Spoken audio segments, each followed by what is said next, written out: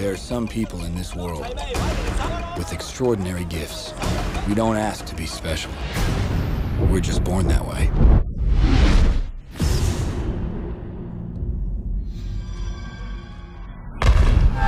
Yes!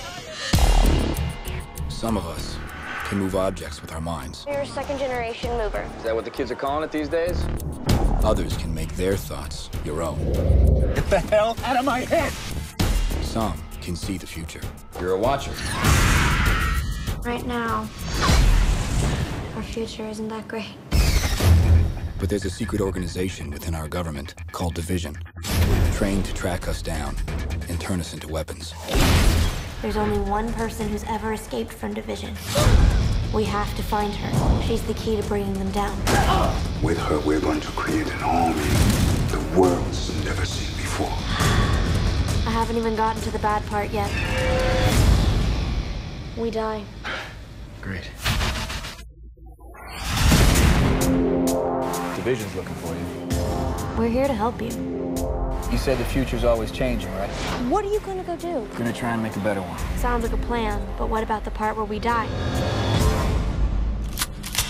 Not part of the plan.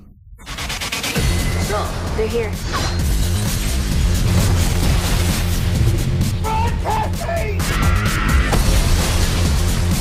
We want Division out of Hong Kong just as much as you do.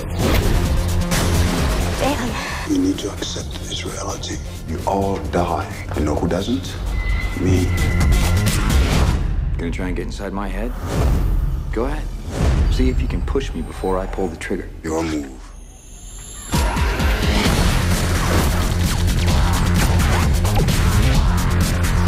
Wait, wait, wait, wait. No, s- go, go.